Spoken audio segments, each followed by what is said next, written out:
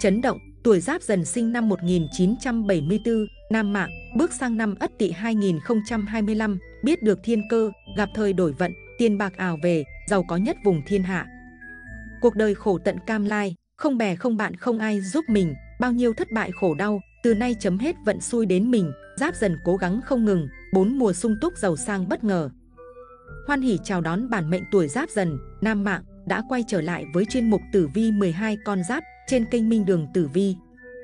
Vâng, bản mệnh chủ tuổi giáp dần thân mến, cổ nhân quan niệm rằng mỗi cây mỗi hoa, mỗi nhà mỗi cảnh đã thấy được vận mệnh của mỗi người là khác nhau. Tuy nhiên, tính cách mỗi người cũng quyết định một phần số phận, có người sinh ra đã được ngậm thìa vàng, ăn bát ngọc, sướng từ trong trứng sướng ra, những tưởng cả đời được sống trong vinh hoa, phú quý, nhưng chỉ vì tính cách vô trương, tham lam, ham mê tiểu sắc mà giàu trước khổ sau, tuổi trẻ vẻ vang, nhưng nửa đời còn lại càng già càng lụi bại, cô độc, nghèo khổ, nhục nhã. Và theo luận giải mới nhất từ giới tiên tri tử vi, trong số 12 con giáp có tuổi giáp dần, nam mệnh, sinh ra trong bần hàn, tuổi trẻ nghèo khổ đủ đường, vận đen liên tục đeo bám, nhiều lần rơi vào bế tắc, những tưởng buông xuôi trước số phận, khổ cực cả đời, nhục nhã bi ai một kiếp. Nhưng vì tính cách chân thực, lương thiện, thật thà và kiên nhẫn, nên bước sang năm Ất Tỵ 2025 sẽ là lúc tuổi giáp dần đón nhận thiên cơ, thay đổi vận mệnh, chỉ cần nắm được cơ mệnh này, làm mọi khổ đau, nghèo đói trong đời này sẽ bay biến, mà thay vào đó là phúc lộc đề đa, chúng số liên tiếp, đổi đời giàu sang, an nhàn hưởng phúc lớn cho đến cuối cuộc đời. Vậy, vận trình của người tuổi giáp dần sinh năm 1974, Nam Mạng, diễn biến ra sao? Trong năm Ất Tỵ 2025, bản mệnh bước sang tuổi 52. Cần lưu ý điều gì, làm sao để đón nhận vận may đến với mình? Thì xin mời bản mệnh cùng theo dõi ngay sau đây. Đầu tiên, thông tin đặc trưng phân biệt người tuổi Giáp Dần sinh năm 1974, Nam Mạng. Giáp Dần hay còn được gọi là lập định chi hổ hay là hổ tự lập. Năm sinh dương lịch từ 23 tháng 1 năm 1974 đến mùng 10 tháng 2 năm 1975. Thiên can giáp, tương hợp thủy, tương hình, mậu, canh, địa chi dần, tam hợp dần ngọ tuất, tứ hành xung dần thân tỵ hợi, mệnh thủy, đại khê thủy, tức nước khe lớn, khắc sơn hạ hỏa, tương sinh mộc, kim, tương khắc, hỏa, thổ, con nhà hắc đế, số phú quý, xương con cọp, tướng tinh con trâu cuộc đời được ông quan đế độ mạng. Giáp dần nam mạng, với nạp âm hành thủy, do can giáp mộc ghép với chi dần mộc, can và chi cùng hành mộc, nạp âm và can chi lại tương hợp ngũ hành, nên thuộc lứa tuổi có năng lực thực tài, căn bản vững chắc, nhiều may mắn, ít gặp trở ngại trên đường đời, từ tiền vận cho đến hậu vận. Trong năm sung tháng hạn, dù có gặp khó khăn trở ngại, cũng dễ dàng gặp quý nhân, giúp sức để vượt qua. Giáp dần chứa nhiều mộc tính trong tuổi, nên các bộ phận, gan mật, thị giác dễ có vấn đề khi lớn tuổi, nên lưu ý từ thời trẻ, về già đỡ bận tâm. Tuổi giáp đứng đầu hàng can, với tam hợp, dần ngọ tuất, được hưởng vòng lộc tồn chính vị, mẫu người trực tính, lòng đầy tự hào, mang nhiều tham vọng, nặng lòng với quê hương, đất nước, dòng họ, luôn luôn tự cho mình có trách nhiệm, không những riêng bản thân mình mà còn với tập thể, nghĩa vụ với đồng bào. Mẫu người tuổi giáp, thông minh hơn người, thời niên thiếu thường vượt trội hơn những người đồng trang lứa. Vì cầm tinh con hổ nên tính tình thích phiêu lưu, mạo hiểm, nhiều tham vọng, ở địa vị nào cũng không vừa ý, ít mãn nguyện. Tuy nhiên, nhiều dũng khí nên khi quyết tâm điều gì thì làm đến cùng, do đó vì quá tin vào năng lực của mình nên cũng có lúc rơi vào cảnh sức cùng lực kiệt, tạo nên nhiều bước thăng trầm trong cuộc đời. Tính tình thường khác người, về mặt tình cảm rất phong phú, nhưng đào hoa ngộ kình, hồng loan ngộ tuần, đi liền với cô quả. Về mặt tình cảm thường gặp nhiều trắc trở, nếu bộ sao này rơi vào mệnh thân, hay cung phối, phu hay thê. Giáp dần hợp với tuổi giáp ngọ, bính ngọ, nhâm ngọ, canh tuất, giáp tuất, mậu tuất, nhâm dần, canh dần, hành kim, hành thủy và hành mộc. Kỵ với mậu thân, bính thân và các tuổi mạng thổ, mạng hỏa, mang hành can canh, tân. Cuộc đời của người tuổi giáp dần nam mạng thường gặp nhiều may mắn, được quý nhân phù trợ, giúp đỡ mỗi khi khó khăn hoạn nạn. Tuổi thơ dù không được sung sướng đầy đủ như bao đứa trẻ khác, nhưng cũng không phải chịu khó khăn, vất vả. Từ khi còn nhỏ, nam mạng tuổi giáp dần đã ham học hỏi, thông minh, sắc sảo, cuộc sống khốn khó, nên họ sớm ý thức được tầm quan trọng của tiền bạc, vật chất, càng trưởng thành, ý chí quyết tâm xây dựng sự nghiệp càng lớn. Cả cuộc đời họ tâm huyết, chăm chỉ làm việc không ngừng nghỉ, hướng tới cuộc sống xa hoa, uy quyền, người khác sẽ thấy những người tuổi giáp dần giống như một cỗ máy, không bao giờ mệt mỏi với công việc. Thực ra, tuổi giáp dần cũng có lúc mệt mỏi, áp lực, nhưng sở thích và đam mê là nguồn động lực để họ tiếp tục làm việc, vươn lên phát triển bản thân.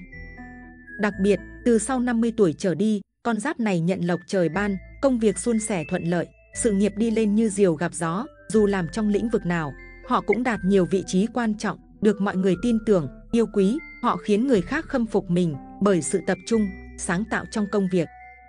Về tài lộc, người tuổi giáp dần nam mạng có phần không quá quan tâm đến chuyện tiền bạc. Đối với họ, thứ quan trọng nhất để duy trì cuộc sống là tín ngưỡng, là tinh thần, chứ không phải tiền tài. Nguồn thu của họ phụ thuộc vào mục tiêu và lý tưởng mà họ quyết tâm theo đuổi, vận tài lộc cũng theo đó mà tới. Dù không quan tâm, nhưng vận tài lộc của họ rất đỉnh và dồi dào bất tận, càng về già càng giàu có, của cải chất cao như núi. Về tình cảm, đây là người giàu cảm xúc, có nhân viên tốt, tuy nhiên tình cảm phong phú, nên họ thường đau đầu vì chuyện hôn nhân, tình yêu. Trong gia đình, họ hết mực hiếu thuận với mẹ cha, luôn một lòng chăm sóc cho gia đình, có cuộc sống vợ chồng hạnh phúc, mỹ mãn. Trong cuộc đời nam mạng tuổi giáp dần, được ông quan đế độ mạng, ban cho sức khỏe, nhưng do thời trẻ lao thân kiếm tiền vì trách nhiệm gia đình và xã hội, nên sang trung vận, sức khỏe của con giáp này không được tốt cho lắm, nên chú ý ăn uống, giữ gìn sức khỏe. Tuổi thọ trung bình từ 67 đến 82 tuổi, nhưng nếu ăn ở có phước đức thì sẽ được gia tăng niên kỷ, sống thọ đến già. Xét tổng quan tử vi nam mạng tuổi giáp dần trong năm 2025. Năm Ất Tỵ 2025, tuổi Giáp Dần, sinh năm 1974, nam mạng là 52 tuổi âm lịch và 51 tuổi dương lịch. Thứ nhất, xem tử vi 2025 của nam mạng tuổi Giáp Dần theo can chi, ngũ hành. Xét về thiên can. Giáp gặp Ất, bình hòa, cuộc sống bớt vất vả, ít thăng trầm hơn trước mà cứ bình lặng trôi qua. Xét về địa chi. Dần gặp Tỵ, lâm cục diện hại thái tuế, có điểm báo thị phi, tranh chấp, thậm chí là vướng kiện cáo pháp luật. Xét về ngũ hành, bản mệnh giáp dần bị lưu niên khắc chế, vận khí nhiều hung họa, chuyện tình cảm hay tiền bạc đều khó đạt được như ý nguyện. Tiểu kết, nam mạng giáp dần sinh năm 1974, trong năm Ất Tỵ 2025 sẽ có nhiều khó khăn, thử thách lẫn cơ hội, mưu sự khó thành. Tuy nhiên, thành bại vẫn do bản thân nỗ lực là chính, ít có quý nhân giúp đỡ, gia đạo hay tiền bạc cũng có nhiều điều cần phải lo toan. Những biến chuyển của thiên can, địa chi và ngũ hành có thể thấy trong năm ất tỵ này đối với bản mệnh giáp dần, chủ về sự ổn định sẽ tốt hơn. Hoàn toàn không nên biến hóa về việc làm hay triển khai các dự án góp vốn đầu tư, kinh doanh thương mại sẽ gặp nhiều bất lợi. Tình cảm mái ấm gia đình và sức khỏe thể chất có những chuyển biến không được tích cực. Thứ hai, xem tử vi giáp dần, sinh năm 1974, nam mạng, theo sao hạn.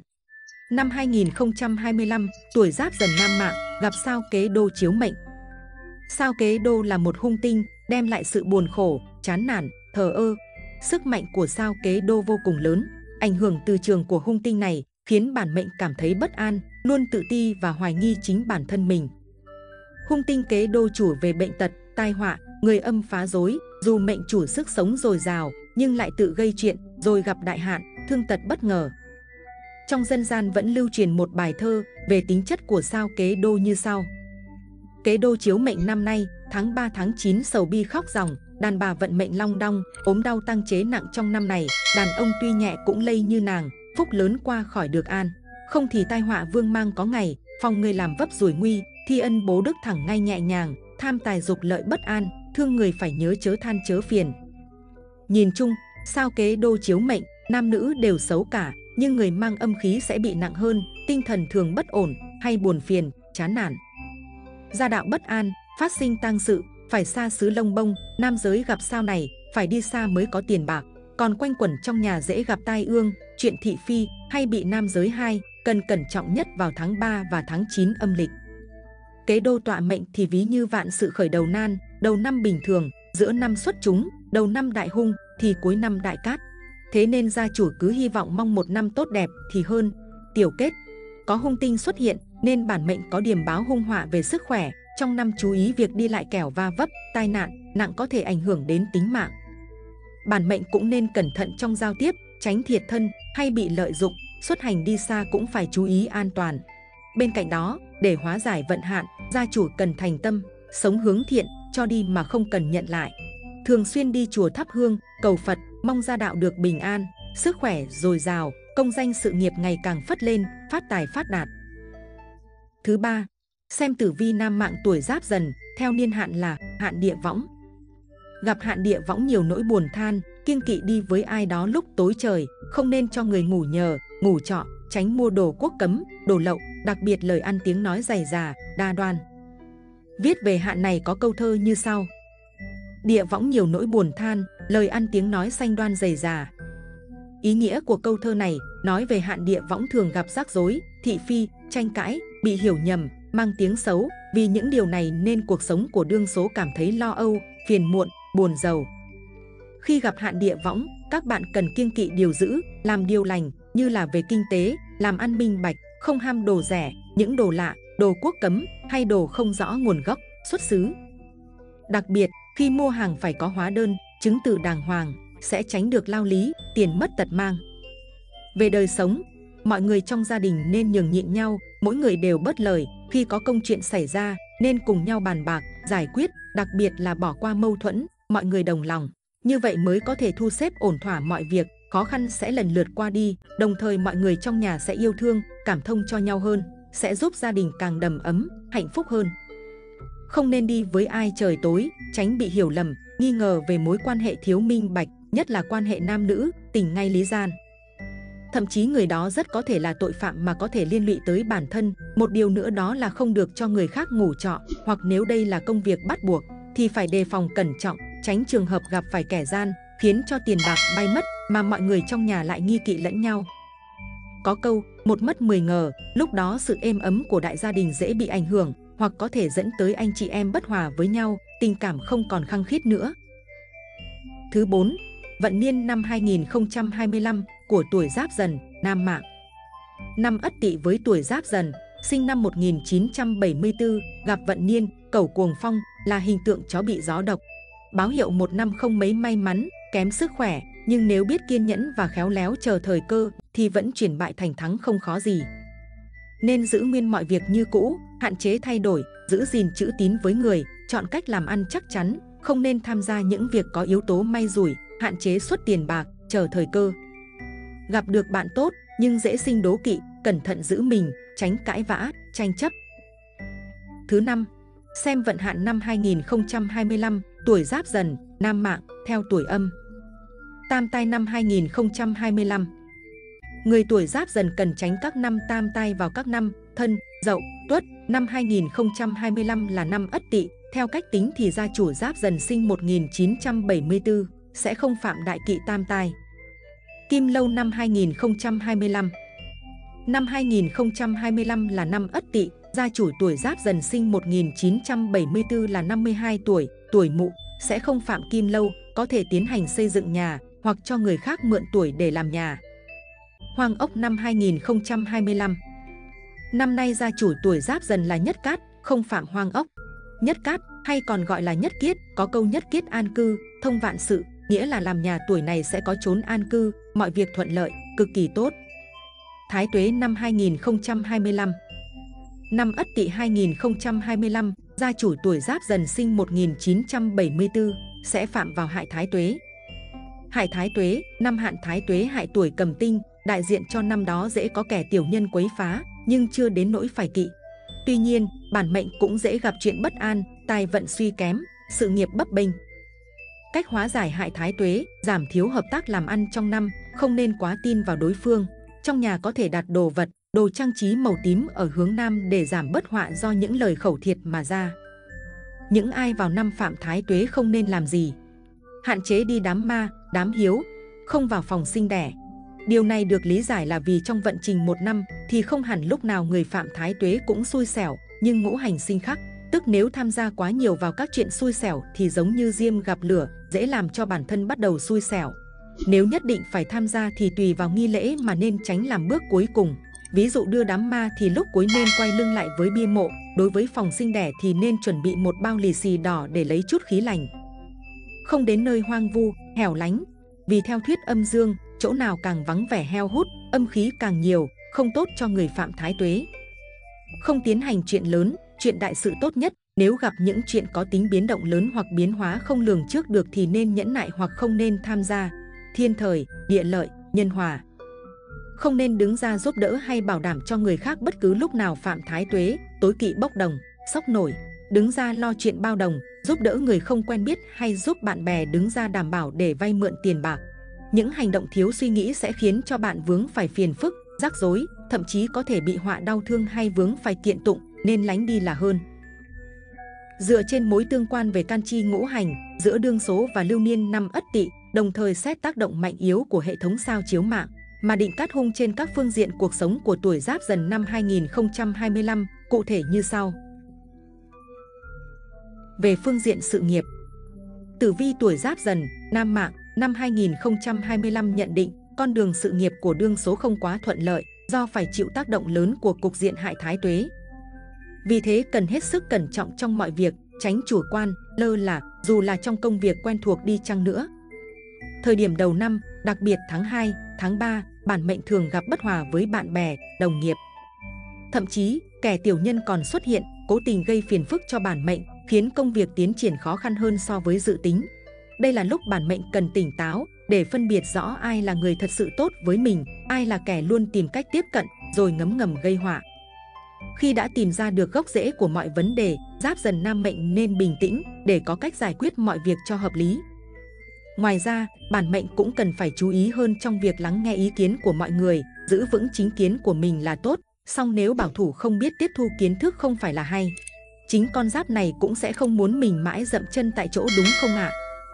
Hãy tin rằng, sự cố gắng của bản mệnh sẽ luôn được đền bù xứng đáng, dù đầu năm bản mệnh gặp phải không ít khó khăn. Nhưng sau đó nhờ được quý nhân tương trợ, tuổi dần sẽ dần dần bắt kịp được với guồng quay công việc. Lại thêm các tinh chính quan cho thấy, sự nỗ lực của bản mệnh luôn được nhìn nhận và đánh giá chính xác.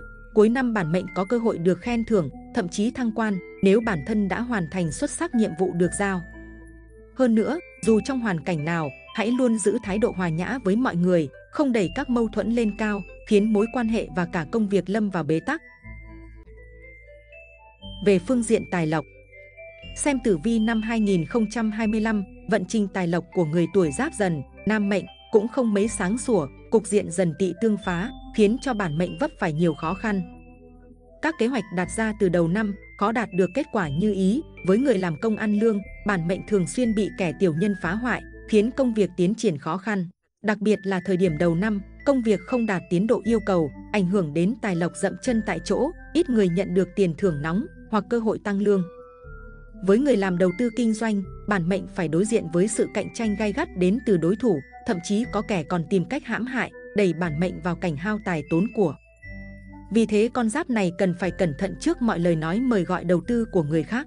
Đặc biệt, nếu đối phương là người bản mệnh không hiểu rõ, đồng thời hãy luôn suy nghĩ cẩn trọng trước khi đưa ra quyết định đầu tư, có thể đó là cái bẫy kẻ xấu đã sắp đặt chờ bản mệnh nhảy vào. Trong cuộc sống hàng ngày, hãy luôn chú ý quản lý tiền bạc chặt chẽ, chớ phung phí cho những hoạt động không cần thiết.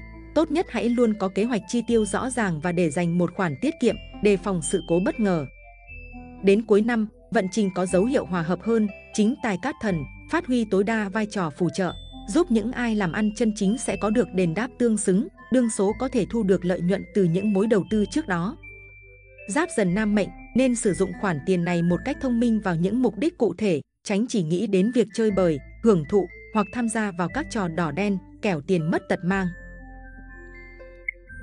Về phương diện tình cảm, gia đạo Tử vi năm Ất Tỵ 2025 dự đoán, con giáp tuổi giáp dần nam mệnh nhận được nhiều tin vui trên phương diện tình cảm vào năm này, bản mệnh và nửa kia duy trì được mối quan hệ cân bằng. Nhờ ngũ hành tương sinh mà cả hai đều tôn trọng nhau, biết lắng nghe ý kiến của nhau, nên những hiểu lầm hoặc tranh cãi giảm đi đáng kể. Hai người còn là động lực cổ vũ đối phương tiến về phía trước, người làm cha mẹ cũng giữ được quan hệ hòa hợp với con cái. Dưới sự cổ vũ của bản mệnh, con cái có thể gặt hái được những thành tích cao, khiến bầu không khí gia đình lúc nào cũng tràn đầy niềm vui, bạn vô cùng tự hào về gia đình mình. Về phương diện sức khỏe, May mắn nữa là người tuổi giáp dần không gặp quá nhiều vấn đề về sức khỏe trong năm 2025 này, đa phần bản mệnh duy trì được thể trạng khỏe mạnh, dù gặp khó khăn cũng không quá bi quan, suy sụp. Để có thể duy trì được tình trạng này, bản mệnh giáp dần nam mạng nên nhớ xây dựng cho mình một lối sống khoa học, giảm thiểu các hoạt động tiệc tùng không cần thiết nhé. 4. Hóa giải vận hạn theo phong thủy năm 2025 dành cho nam mệnh giáp dần, sinh năm 1974. Cách hóa giải sao kế đô theo phong thủy đô phong thủy, sau cái đô là sát thuộc hành thổ, muốn hóa giải được những nguồn năng lượng tiêu cực thì sao này cần phải dùng hành kim để tiết chế, do đó nên mặc những màu trắng, bạc, xám, y. Có thể dùng những vật phẩm phong thủy làm bằng đá quý màu trắng như thạch anh trắng để áp chế. Tích cực làm việc thiện, chủ động làm nhiều việc thiện, giúp đỡ mọi người xung quanh, thường xuyên phóng sinh, dần ra tai ương sẽ biến mất. Việc dâng sao giải hạn tốn kém, mất nhiều công sức mà chưa chắc đã có được hiệu quả bằng chính việc làm của bản thân mình. Cách hóa giải hạn địa võng về cách hành sự, tốt nhất làm ăn chân chính, buôn bán, kinh doanh rõ ràng và minh bạch, nhập hàng hóa, sản phẩm đúng chất lượng, có hóa đơn chứng từ rõ ràng, đừng vì cái lợi nhuận mà bán rẻ lương tâm. Về gia đạo, mọi người trong gia đình là một, gia chủ gặp hạn này không nên hơn thua tránh điều đáng tiếc xảy ra, luôn yêu thương và nhường nhịn lẫn nhau. Đừng vì lời nói của người khác mà tình cảm gia đình tan nát, chia ly xa cách. Dù có chuyện gì xảy ra thì mọi người nên ngồi lại mà tìm cách giải quyết. Tinh thần hướng thiện, gia chủ cần thành tâm sống hướng thiện, cho đi mà không cần nhận lại, thường xuyên đi chùa thắp hương cầu Phật, mong gia đạo được bình an, sức khỏe dồi dào. Cảnh báo, đương số không nên đi xa, ra khỏi nhà vào trời tối, không may tai nạn bất ngờ xảy ra, rất nguy hiểm, đồng thời không nên cho người lạ vay mượn tiền, hoặc ngủ nhờ qua đêm, chẳng may gặp phải kẻ xấu, nổi lòng tham, đánh cắp tài sản, nguy hiểm đến tính mạng, nên bản mệnh giáp dần cần chú ý nhé. Xem tuổi sông nhà, sông đất năm Ất Tỵ 2025 cho người tuổi giáp dần. Theo kinh nghiệm dân gian, khi chọn người sông đất nên chọn người có thiên can, địa chi, ngũ hành tương sinh với gia chủ. Đồng thời thiên can, địa chi, ngũ hành của năm 2025 cũng cần tương sinh với người đó. Các tuổi sau đây phù hợp với gia chủ để sông đất vào đầu năm mới. Các tuổi sông đất tốt với người tuổi giáp dần trong năm Ất Tỵ 2025 là Bính Tuất 2006, tốt, Bính Tuất 1946, tốt, Bính Thìn 1976, tốt, Đinh Mão 1987, tốt, Bính Ngọ 1966, tốt, Đinh Mão 1927, tốt, Đinh Dậu 2017, cá, Đinh Dần 1997, cá, Đinh Tị 1977, cá, Đinh Mùi 1967, cá. Các tuổi sông đất xấu với người tuổi giáp dần trong năm Ất Tỵ 2025 là Tân Hợi 1971, không tốt, Tân Tỵ 1941, không tốt, Tân Tỵ 2001, không tốt, Nhâm Thân 1932, không tốt, Nhâm Thân 1992, không tốt, Canh Thìn 1940, không tốt, Kỷ Hợi 1959, không tốt, Mậu Thân 1968, không tốt, Canh Thân 1980, không tốt, Canh Thìn 2000, không tốt. 2. Xuất hành đầu năm 2025 Mùng 1 Tết Ất Tỵ, xuất hành hướng Đông Nam để đón hỷ thần, hướng chính Bắc để đón tài thần.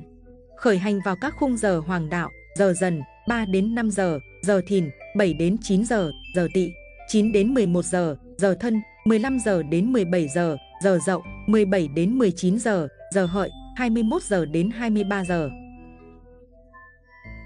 Vận trình từng tháng âm lịch đối với bản mệnh tuổi Giáp Dần sinh năm 1974 trong năm 2025 được căn cứ theo 24 tiết khí để đánh giá và phân tích.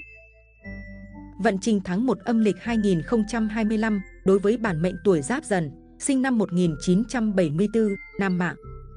Bước sang tháng đầu tiên của năm Ất Tỵ, bản mệnh tuổi Giáp Dần gặp phải nhiều khó khăn trong công việc, công việc có nhiều xáo trộn, phải chú ý điều chỉnh cảm xúc và tìm ra phương pháp làm việc hiệu quả, nếu không sẽ chỉ càng thêm nóng nảy. Ngoài ra, tháng này cũng dễ xảy ra tranh chấp lời nói, xung đột thân thể với người khác, bản mệnh phải học cách kiềm chế cảm xúc, trong hoàn cảnh đặc biệt không nên hành động bốc đồng, cần chín chắn, lý trí hơn. Năm mới nếu không muốn bị ảnh hưởng quá nhiều bởi hung tinh thì tốt nhất nên cẩn thận đi lại, hạn chế nói nhiều. Vận trình tháng 2 âm lịch 2025 đối với bản mệnh tuổi Giáp Dần, sinh năm 1974, Nam Mạng. Bản mệnh tuổi Giáp Dần trong tháng 2 âm lịch này có vận trình tài lộc tương đối hanh thông, công việc bình ổn, không có nhiều vấn đề phát sinh. chỉ là tháng này không thích hợp để đầu tư quy mô lớn nên bản mệnh cần cân nhắc trước khi đầu tư.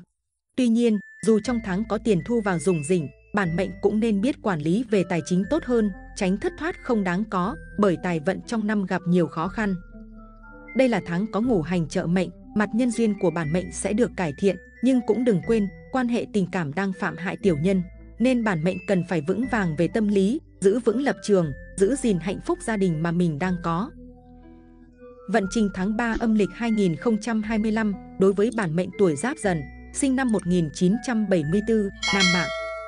Tử vi của bản mệnh tuổi Giáp Dần trong tháng 3 âm lịch năm 2025 có điểm báo thăng tiến nhẹ. Trong tháng có nguyệt lệnh thìn thổ và chi dần mộc tương sinh, vận khí cát lành có sự thăng tiến. Bản mệnh tuổi Giáp Dần trong tháng này sẽ có nhiều cơ hội tốt, việc kinh doanh, buôn bán vận hành trơn tru, có phần được thuận lợi hơn, doanh thu sẽ cao. Đường tài lộc tháng này của bản mệnh khá khả quan, chỉ cần chăm chỉ thì sẽ dễ giàu có. Sức khỏe trong tháng này được bình ổn, nhưng bản mệnh cũng nên cẩn thận về các vật dụng sắc nhọn và khi tham gia giao thông để đảm bảo an toàn cho bản thân. Vận trình tháng 4 âm lịch 2025 đối với bản mệnh tuổi Giáp Dần, sinh năm 1974, nam mệnh. Tháng 4 âm lịch này, chịu ảnh hưởng của thiên khốc, tăng môn, lại gặp địa chi dần tị tương xung, làm cho tinh thần không tốt, dễ bị lơ là khi làm việc. Tháng này cẩn thận trong đầu tư, hùn hạp làm ăn, kẻo mất trắng, nên suy nghĩ cho cẩn thận trước khi đầu tư. Về tình duyên của bản mệnh trong tháng này cũng không mấy tốt đẹp, bị ảnh hưởng bởi giác tú, hoa cái. Bản mệnh tỏ ra lo lắng và nóng tính hơn, nên khó được lòng mọi người, những người thân trong gia đình cũng hay xung đột về lời nói. Tháng này là tháng tỵ, tháng xung của tuổi bổn mạng, bản mệnh đặc biệt chú ý đến giấy tờ quan trọng hay là hợp đồng mua bán, dễ có sự sai sót dính dáng tới pháp luật, kiện tụng. Vận trình tháng 5 âm lịch 2025 đối với bản mệnh tuổi Giáp Dần, sinh năm 1974, nam mạng. Trong tháng 5 âm lịch này, về vận trình tổng thể của bản mệnh tuổi Giáp Dần có phần khởi sắc.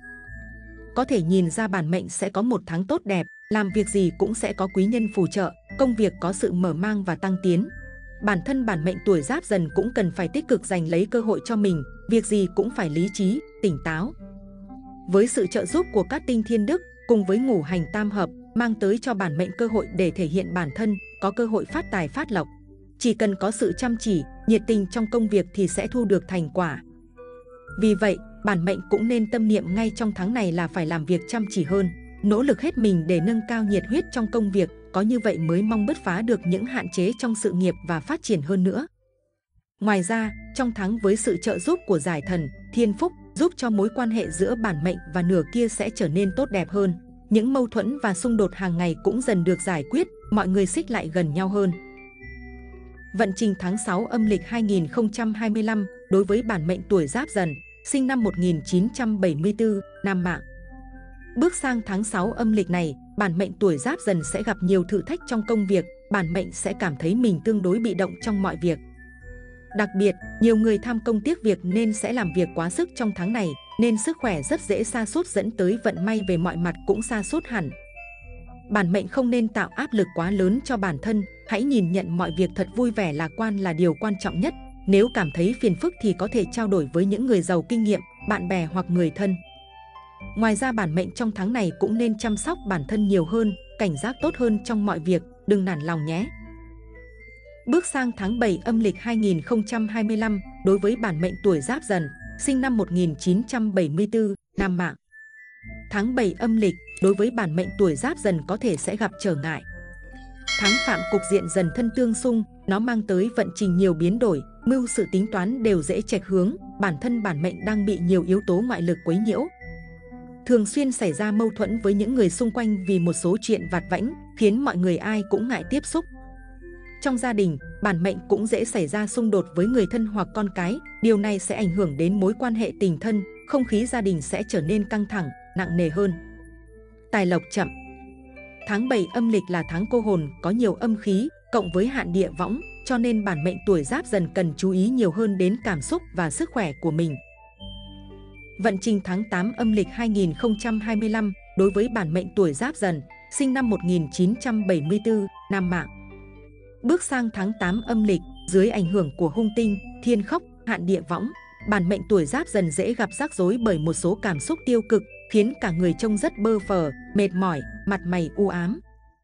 Tháng này, những chuyện buồn phiền, tình cảm không như ý, bản mệnh tỏa ra lạnh lùng, cục tính. Nửa cuối tháng này nửa kia cũng ít quan tâm đến bản mệnh, hai bên dễ xảy ra tranh cãi. Một số người đang kinh doanh chứng khoán hoặc tham gia vào lĩnh vực tài chính có thể gặp phải sự sa sút trong vận may của mình do bản mệnh đang chịu tác động lớn từ năng lượng tiêu cực đưa tới. Trong tháng bản mệnh không nên tham gia vào các trò may mắn, nếu không rất dễ phá sản, mất cả trì lẫn trải.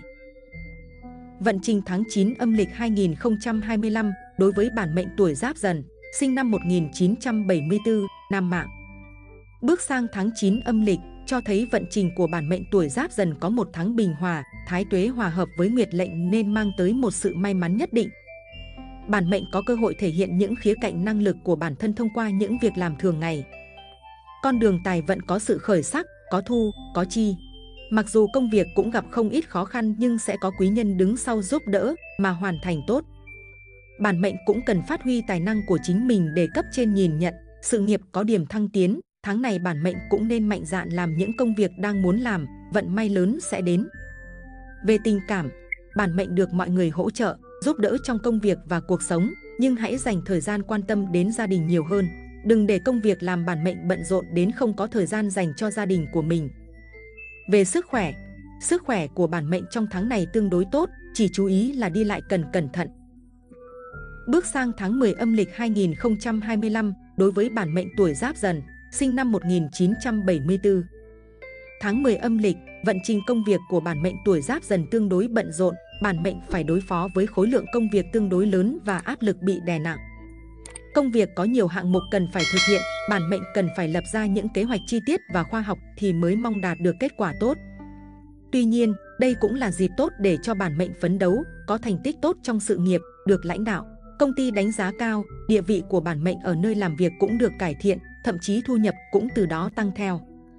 Ngoài ra tháng này bản mệnh cũng nên chú ý giữa làm việc và nghỉ ngơi hợp lý, đừng làm việc quá sức, nếu không cơ thể sẽ mệt mỏi, kiệt sức lại ốm bệnh. Vận trình tháng 11 âm lịch 2025 đối với bản mệnh tuổi Giáp Dần, sinh năm 1974, Nam Mạng. Thiên can tương sinh, địa chi tương hợp, trong tháng 11 âm lịch này, vận trình của bản mệnh tuổi Giáp Dần sẽ có nhiều thay đổi tích cực. Bản mệnh nên xây dựng các mối quan hệ tốt đẹp tại nơi làm việc và nỗ lực vượt qua những thử thách trong công việc để có thể nâng cao tài vận cho mình.